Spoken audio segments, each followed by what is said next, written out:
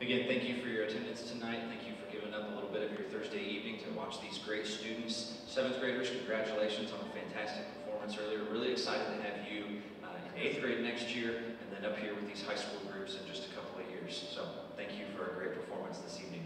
To close the concert, the concert band is going to perform an exciting piece called Chant and Fire Dance. This piece is in two sections. The first section is the chant section, which starts off very slow and kind of ominous, and then we transition into the fire dance. So please welcome back Miss Mudge and the concert band performing Chant and Fire Dance.